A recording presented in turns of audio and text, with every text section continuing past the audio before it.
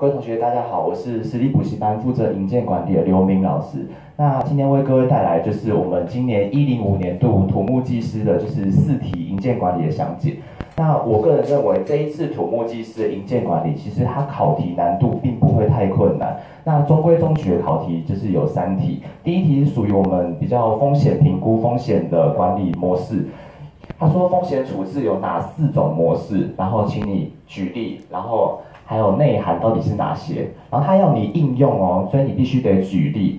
然后如果应用在不同的严重性以及不同频率的风险，应该如何处置？所以第一题是非常中规中矩的题目。那我们看一下第二题。好，我们第二题呢考了什么？我们第二题考的就是近年来啊非常非常火红的，就是 BIM。那 BIM 呢，如果翻成中文的话，就是建筑资讯模型。好，建筑资讯模型。好，那建筑资讯模型还有很多很多的应用。那他这次考什么？他这次考说何谓 BIM？他考你定义。然后呢，他说 BIM 如何应用这个技术来改善我们施工界面的问题？那有一些专有名词，如果你念营建管理，可能需要了解，就是我们的界面是什么？好，界面就是如果我们有不同的工项啊，我们在配合的时候要互相协调，有可能会有一些冲突发生。所以第二题呢也是非常非常呃知识化的考题，比较偏向于名词解释的。那第三题呢，就是讲经典的计算题。如果啊计算题要分类的话，总共只有九种题型。那如果要考出来网图比较容易考出来，在高等考试的话，就属于这一类。这一类叫做有作业关系变化的，就是网图。那我们平常都使用 PDN 来解是比较容易的。如果有作业关系变化的话，总共有分成四种。例如说 SS 啊，好，这个怎么念？这个叫做先行作业开始后至少五天。后续作业才开始，叫做 S S 五。好，以此类推，总共有四个。好，S S、F F、F S，还有一个 S F，这四个。如果考出来这种题目的话，你千万不能答错，因为这只是最基本的加减乘除运算，哈，连乘除也没用到，就是完全加减运算。所以，如果考出来的话，请你一定要花大量时间的。来，呃，就是验算看看哦。如果这个加减错的话，可能导致后面网图全部都错，这是一个低级错误，所以请同学一定要非常注意。好，那如果有作业关系变化的题目呢，你可能会需要特别注意的就是我们的自由浮时，因为我们自由浮时在学术界在算的时候有非常多的方法在应用在我们的就是作业关系变化网图，那等下跟各位同学分享一下。好，那我们最后一题的题目呢，就是工工程经济的题目。近年来啊，我们国家考试，尤其是土木技师，已经连续两年有出现工程经济的题目。那老实讲啊，工程经济其实属于就是我们英关组在考研究所的时候才会额外深入研究的一个科目。那有没有需要说花大量时间？然后投资在这个二十五分上，然后还不见得出现的。我个人认为是没有必要。如果你在念一些财务管理的时候，你可能会学到，譬如说工程价值分析、价值工程分析。好，那价值工程分析其实理论上就跟我们这一题工程经济有一点正相关。所以如果你完全不会也说不过去，因为你其实有一些基本概念，那我们可以用一些基本概念的方式来答。尤其是今年我们在考就是一建管理的时候，它是禁止使用计算机的，所以我们要如何在没有计算机的前提下来达成这题计算题，但是有一定的技巧的。好，那我们从第一题开始分享哦。好，那。稍微念一下题目，好，题目说什么？题目说工程设计以及施工者啊，应该要如何进行风险评估？好，然后以防止施工时的职业灾害，所以他已经告诉你了，你是施工者，你的目标是要防止施工灾害，你要做的事情是风险评估。好，那风险评估啊，我们在规划的时候有分成四个步骤，好，叫什么？叫做辨识、分析、评价、处置。好，那他是写说辨识、分析以及评量风险。好。那平凉完了以后，我们必须要处置啦。那在学术界啊，我们在处置风险的时候有四大原则。好，哪四大原则呢？好，这四大原则就是完完全全你必须得死背起来的。分别是什么？好，分别是风险避免、风险缓和、风险转移以及风险保留。这是学术界告诉我们的处置风险的四大原则。好，那我个人呢，分享给各位同学就是，其实啊，只要是管理，都是一个不断循环、不不断要改进的一个过程，这样子管理才会值钱嘛。所以必须要加入一个叫做风险回馈的步骤。好，那接下来题目说什么？题目说你不只要知道这四个处理原则，你还要知道说它的内涵是什么，请你举例。所以你要举一个实物上的例子哦。那它已经指定了嘛，就是一些职业灾害。好，所以你必须得举举一个职业灾害，然后应用这四种方法的一个呃过程。然后接下来呢，说明不同严重性以及发生频率之风险应该如何处置。所以其实有两个小题哦，各位同学必须得注意一下。好，那我们来看第一个小题。第一个小题啊，如果我们应用在我们的风险管理啊，应该理论上考出风险管理，你只要看到这个词。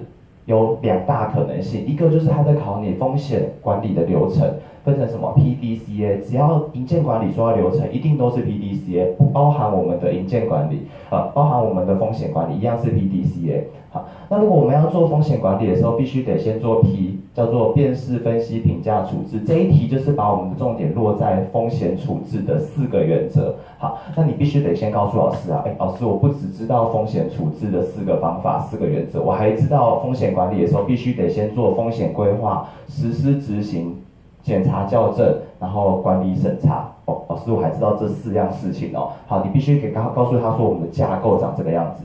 好，那接下来呢，我们要看我们处理的四大原则，必须要举例吧？题目要求你要举例。好，第一个叫做什么？第一个叫风险避免，意思是说啊，如果你没有办法控制这个风险的话，其实你有办法避免的话，其实也是一个不错的措施哈。好，如果你没办法控制，你是不是可以尝试去避免它？那我们举例是什么？我们举例就是说，如果你在开挖啊，在做基础工程的时候，你已经知道有可能有沙涌。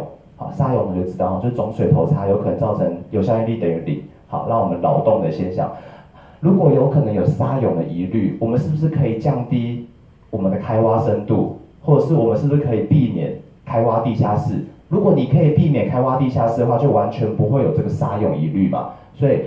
如果没办法完全控制的风险，你是可以完全避免它的话，也是不错的哈。这个第一个叫做风险避免。第二个呢，第二个叫风险缓和。好，风险缓和是什么意思？风险缓和就是说，如果你没有办法轻易的避免它，你可能要付出极大的代价。那我们是可以提高自身的能力，来让风险比较减轻。好，就减轻的一个概念哈。那如果你要让自己的技术或自己能力提升，它不外乎哪些动作？譬如说提高技术啊，加强设备。你让你自己的设备比较好，你让你自己的管理技术、施工工法比较加强的话，是不是可以让我们的风险比较减轻？好，如果应用在基础工程，一样是沙有疑虑的这个开挖工程的话，那我们怎如何解释？哈，好，譬如说各位同学啊，如果你有学过施工法，都知道哈，如果你在做我们的挡土壁工程，在开挖的时候害怕沙涌。那原因是什么？因为原因造成沙涌原因，是因为我们呃挡土壁的施工不良，有可能有包泥啊，就是让我们的渗渗流路径比较短，那就容易沙涌。所以你必须得做好挡土壁的施工管理。好，那做好挡土壁的施工管理啊，有非常非常多的面向，也有可能有非常多的事情可以一起实施哈。第一个是什么？叫做分析混凝土用量曲线。好，那我们来看一下这个混凝土用量曲线。混凝土用量曲线啊，就是说，如果你在施作连续壁的时候，对应到你连续壁灌浆的高度，我们使用特密管水下灌浆嘛，好，对应到你连续壁灌浆的高度，那你混凝土相应使用的量，好，这是体积，这个是灌浆的高度。那理论上啊，它是一个正比关系，理论上你灌越高，所需要的混凝土应该要是线性关系啊，好，因为它是一个正方体，立方体哈，好，所以应该要越灌越多，好。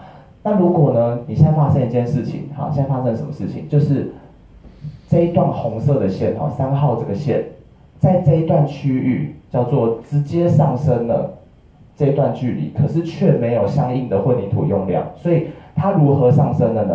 直接上升却没有用量，所以代表你没有灌混凝土，可是我们的灌浆高度上升了，所以里面可能会包了一些泥，那包的泥巴在里面，是会让我们的渗流路径减少。好，那渗流路径减少就容易发生沙涌，所以我们可以用混凝土用量曲线来分析我们的呃挡土壁品质是否优良。好，这就是属于我们的风险呃缓和部分。除了混凝土用量曲线的话，我们是可以分析我们端板是否清洁。端板清洁的话，是不是公母接头单元是比较不容易有可能会有沙涌疑虑？那接下来有什么？接下来还有稳定液管理。我们的稳定液如果品质比较好的话，里面泥沙量比较低，是不是灌出来的连续壁、灌出来的挡土壁，是不是就会品质比较好？好，那第三样是什么？第三样就是属于我们的风险转移。好，风险转移啊，各位同学看到这四个字可能没有直接的想象哈。那我讲一个很简单的方式跟各位同学讲，就是如何风险转移。你必须把风险给另外一个人帮你承担。最简单的步骤是什么？最简单的步骤就是保险。所以保险这个东西啊，在我们近十五年的考试里面已经考到烂掉哈，请你至少要背三个保险的举例。好，应用在工程当中啊，你是不是可以举例说我们用了哪些保险来一起分担我们的风险？譬如说营造综合保险是最常举例的嘛，还有安装工程综合险，好，我们的营建机具综合险，好，这些东西是不是都可以有效帮我们转移风险？那接下来是我们第四个步骤，叫做风险保留。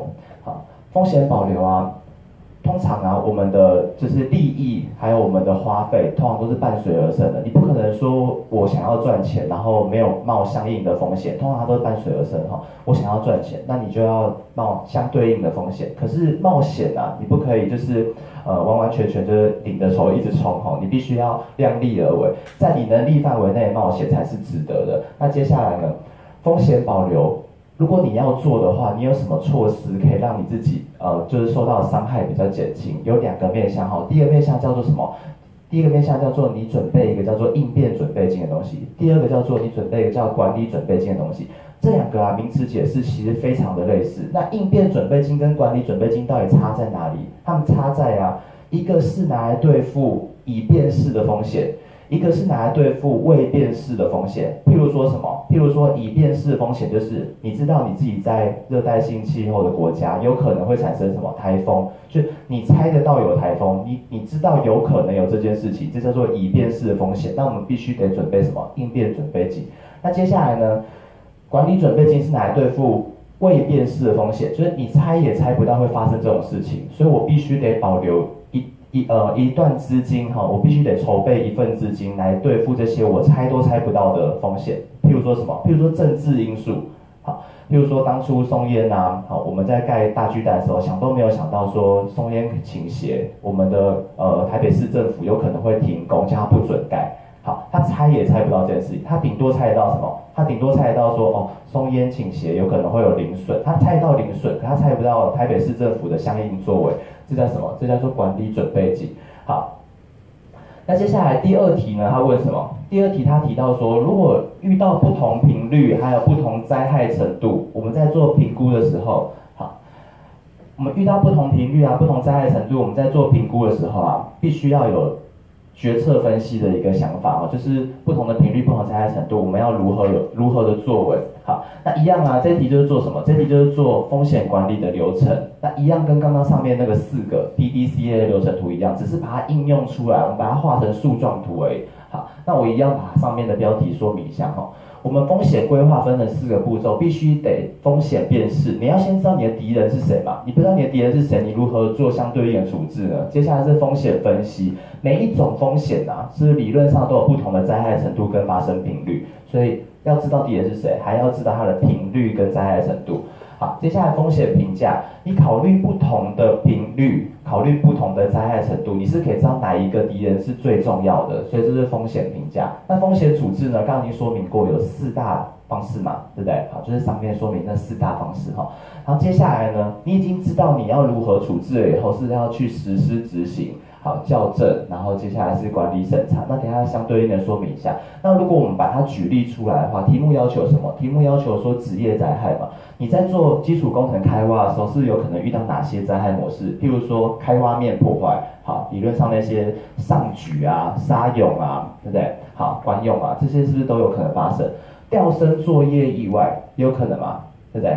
好。比如说施工架倒塌、人员触电安全，还有内支撑失败，哎，这每一个频率发生的理论上都不一样，这每一个灾害程度也不一样，所以你必须得先做一个叫做风险分析的原跟风险分析的一个步骤哈。好，譬如说什么？譬如说我们人员触电跟坠落是有可能比较频率短啊，比频率比较多，就是比较容易发生，可是它的灾害程度没有没有非常巨大嘛。那像这种内支撑失败，理论上不可能常常发生，可是灾害程度就非常巨大哦。好，那我刚举的这五种，是不是我们的频率跟灾害程度都不一样？那如果做评价的话呢，哪一个比较重要？好，哪一个比较重要？譬如说，我们的人员触电坠落，它虽然没有非常大的程度，可是它时常发生，所以我们必须要比较留心哦。好，那这个呢，吊升作业意外呢，吊升作业意外它也不是非常常发生，那理论上发生了以后也没有造成巨大灾害，比起那些内支撑破坏，可能没有非常巨大灾害哈。好，所以我们把它排在等级五。好，所以一二三四五排完了以后呢，再做风险处置。好。譬如说开挖面破坏，如果你要做风险避免，你可以降低或减少地下层数。譬如说吊升作业意外，你要做风险缓和，你可以加强人员技术嘛，你可以做好教育训练啊。那如果施工架倒塌了？如果你要做风险转移的话，你可以投保我们劳工意外保险。好，那接下来是我们人员触电坠落，如果你要做风险保留的话，你应该做好什么自主检查？我们必须得做好我们的劳工安全检查。好，这是风险保留的部分。那内支撑失败呢？好，这就是应用我刚刚所说的一个管理流程，最好就是要不断的回馈。所以风险回馈是一个很重要的。你可以调阅以前失败的案例，知道什么样的情况下有可能会造成内支撑失败。接下来我们要做的是 PDCA 第二动作，叫做 D 实施执行。好，实施执行或许听起来有点抽象。那有两件事情是实施执行，我们常常要需要注意的事情，就是实施执行。换言之啊，要做的事情就是要做好日常管理，要做好教育训练。你不只要自己会做，你还要告诉你的员工如何是做，这是一件很重要的事情哦。好，接下来是我们的检查校正。你只要有实施执行，一定会有没有办法完全符合你规划的情况嘛？那我们是要继续做检查。那既然要检查，那就要有校正措施哦。那我们的管理审查 action 这个步骤，前面是产生校正措施，后面是实施校正措施，不太一样哦。那不只要实施校正措施，我们还要做什么？我们还要把它做成流程化、SOP 化，尽量把它做成制式化格式。好，这个就是我们的 TDCA 步骤。好，那第一题就是分享到这边哈。那我们来看第二题。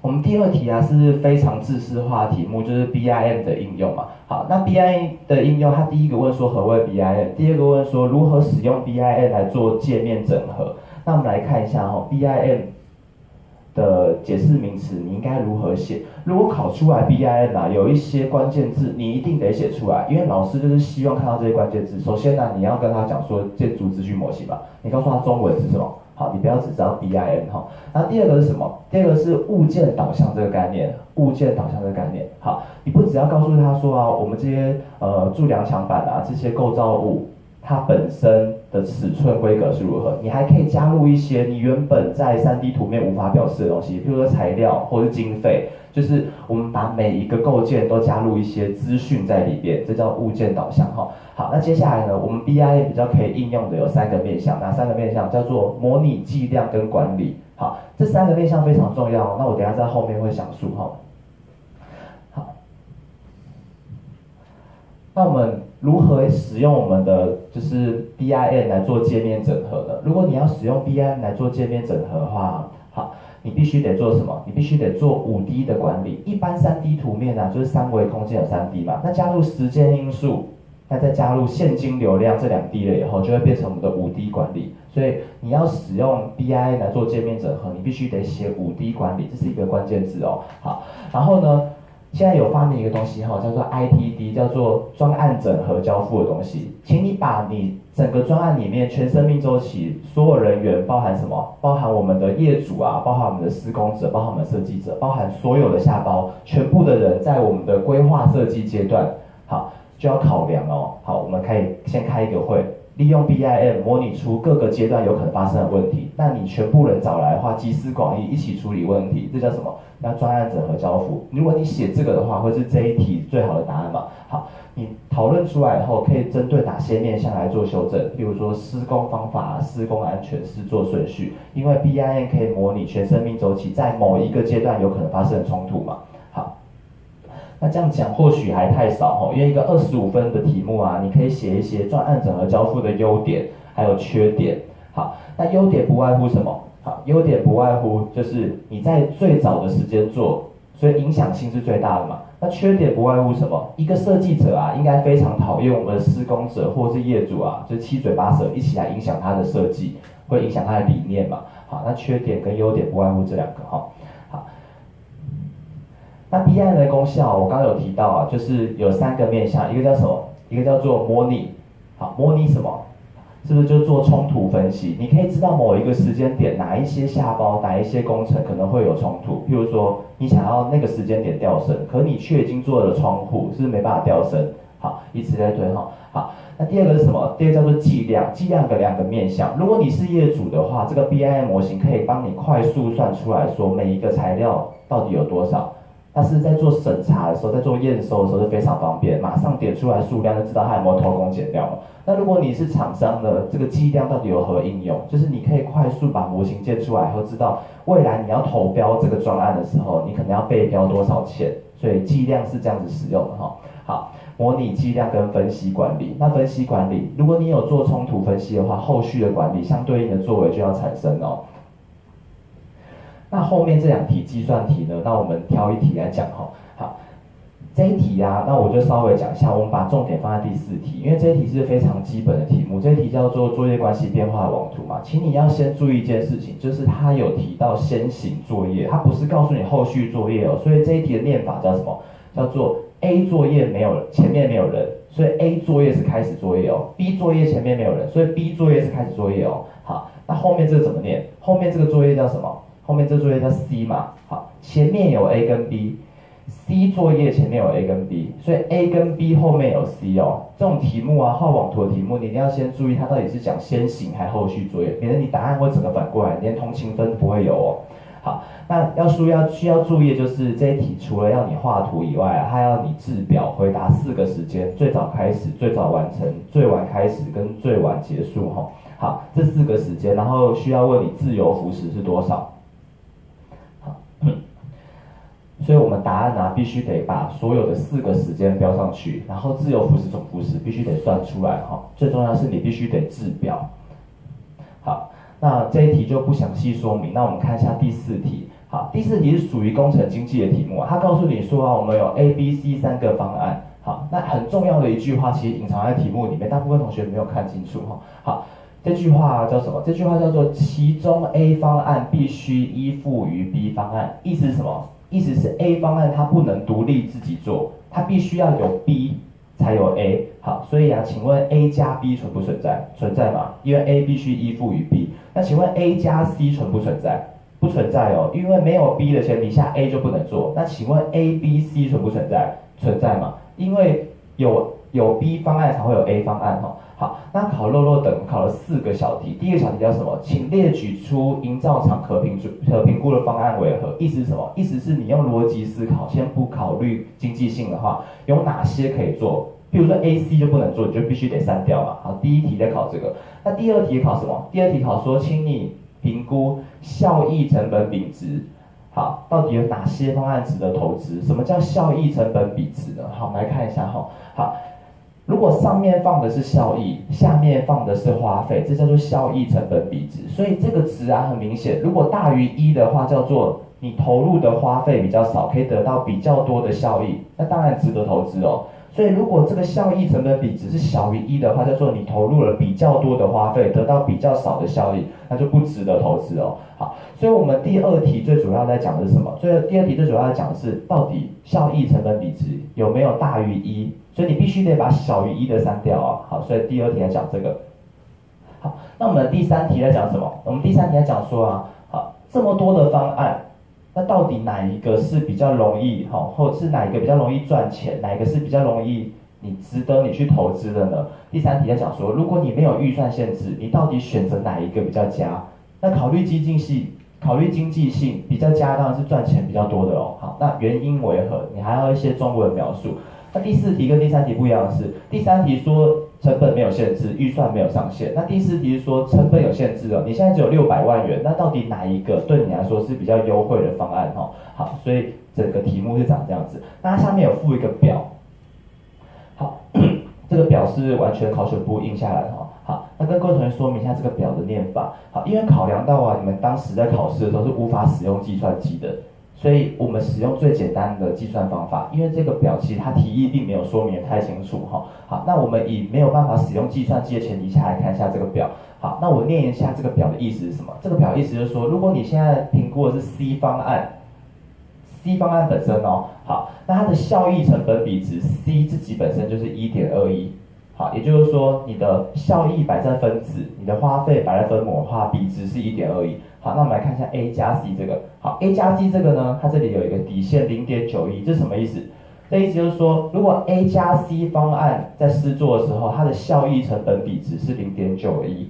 好，就是你投入的花费，还有你投得到的效益，你得到的效益是比花费还要少的，那这样值不值得投资？零点九一不值得投资吧？OK，好，好，所以这个表格啊，理论上我们以没有计算机为前提下，比较简单计算方式就是直接使用到这个斜对角线，就是有底线的这个来做就好了哦，就是不用考虑到太复杂的计算，因为我们没有办法使用计算机嘛。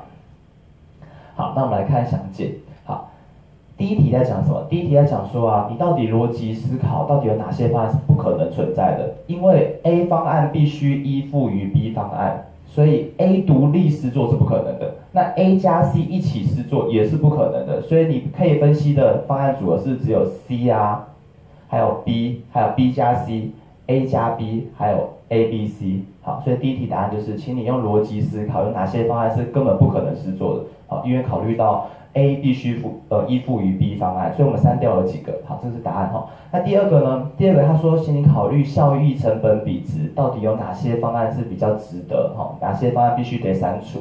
好，那题目其实斜对角线都有给你效益成本比值嘛？譬如说 C 方案是一点二一，譬如说 B 方案是一点一八，譬如说 B 加 C 是一点一九，譬如说 A 加 B 零点九四，好，以此类推，好，它全部都给你。那你是不是可以直觉反映出有人是小于一的？那小于一是什么意思？小于一是不是就指说你投入的花费很多，得到的效益却不及花费？所以如果你考虑效益成本比值的话，A 加 B 这个方案根本不可能去试做它了。OK 好，所以第二题考虑经济性化，直接删掉就是 A 加 B 的方案，所以你剩下四个。好，那第三题说成本没有上限，第四题说你只有六百万，那我们就来计算看看哦。好，那我们来看一下效益成本比值。你效益放在分子，花费放在分母，那它给你的那个斜对角线数字，就是我黄色圈起来这个效益成本比值。那我们经由移项了以后，是不是可以把效益算出来。好，因为你把 C 乘过去，那我们的效益是不是等于效益成本比值乘上花费？没问题哈，这简单的移项计算。好，所以题目给你的花费，那我们可以利用花费跟效益成本比值算出来。效益哦，好，没问题。那我们来看一下解答哈。好，题目的这一行 cost 花费是题目给定的。好，那效益成本比值也是题目给定的，就是斜对角线。所以我们把二八零乘上一点二一，四就可以得到它的什么？可以得到它的效益，分别是三三八点八。好，那一模一样哦。B 方案也是，花费是他给你的三八零，效益成本比值一点一八也是他给你的，所以两个相乘了以后可以得到它的。效益是四四八点四，好，以此类推，每一个方案是不是效益都算得出来？好，每个方案它的花费也有给你，好，那这时候呢，就有两个做法，好，第一个做法是什么？第一个做法就是，如果你的预算没有上限，我们应该如何计算？那如果第二个做法呢，就是如果你的预算有上限的时候，我们应该如何计算？这是工程经济的问题，哈，好，我们来看一下这里，好，第一个是什么？第一个是如果你的预算没有上限，那我们通常采用什么？我们通常采用。净效益法，好，净效益法就是请你把整个方案的效益减掉花费，好，会得到一个数值啊。那很明显，正的才是有赚头的。那很明显，那个数字如果越大的话，就代表什么？代表你赚越多钱嘛。因为效益越高，花费越少的意思。那接下来呢？如果你成本有上限的话，你必须得先做一件事情，就是上限以上的方案你不可以考虑，因为你根本没有钱去做它嘛。那花费内的考量，我们必须得用一本比法，这什么意思？这叫做效益除以花费，这就是 CP 值的概念，到底值不值得？投资报酬率的意思。所以如果成本有上限，你必须得把上限以上的方案砍掉，然后找一个投资报酬率最高的方案。好，所以其实这题并不会太困难哦。好，那我们来看答案哈。好，好，我们总共有五个方案嘛，那我们已经砍掉一个方案了。那我们分别把所有的效益跟花费都算出来，那你相减不会有问题，那相除更不可能有问题，因为这是题目给你的，所以我们把所有的方案的相减都算出来，分别是 C 方案五十八点五，分别是 B 方案六十八点四，啊，以此类推哈，好，A 加 B 加 C 是十九点二，好，那如果预算没有上限的时候，我们想要赚最多的钱，但是哪一个方案比较划算呢？当然是 B 加 C 嘛，因为它相减以后是一二五点四，代表什么？代表它得到的效益最多，花费最少咯。所以第三题答案就是 B 加 C 方案。好，那第四题呢？第四题他说你只有六百万哦，那第一个前提六百万下去，每一个花费都不一样，二八零、三八零、六六零、六八零、九六零，所以 B 加 C、A 加 B 跟 A 加 B、C 这三个方案是你不可能去试做，因为超过六百万嘛，所以你只能选择这两个。那这两个到底哪一个投资报酬率比较高？我们就要看什么效益成本比值哦。好，这两个哪个比较高？当然是我们的 C 方案比较高哦。所以六百万为前提，你只能选这两个。那哪一个比较值得投选？投资报酬率比较高，就是一点二一 C 方案这个。好，所以我个人认为啊，这个这次考题并不会太困难哈。那如果你要把握的话，如果你要把握的话，如果你不是银管组同学，你工程经济没有就是长时间涉猎，或许你第四题比较陌生。可是如果你有学过价值工程分析，其实效益成本比值的意思其实差不多嘛。好，所以第四题并不会太困难。可能以大部分同学前提你可能没有接触过，可前三题呢？前三题第一题考虑什么？风险分析的四大步骤，完全照本宣科，一模一样哦，跟课本一模一样哦。所以你有没有背，这是一个很关键的事情哦。好，那第二个呢？好，第二题考什么？啊，我们第二题啊说 BIM，然后问界面分析，这是最近比较火红的东西。如果你要准备一些管理工具，最近比较红的话，就是 BIM 嘛，大数据 Big Data，还有我们的物联网 IOT。好，这几个是比较容易近年会发生的。好，所以你可能要额外准备一下。相信各位同学应该都有涉猎，用补习班都有就是着重说明。那第三题啊，第三题就是我所谓的计算题哈。好，第三题计算题只有九大题型，如果营建管理考出计算题的话，要超过五十分的几率就是非常的高哦。那我换个说法，大家超过五十分的几率都很高，所以你千万不能计算错误。如果考出计算题，简单的加减乘除你不可以计算错误哦。好，那今天分享到这边。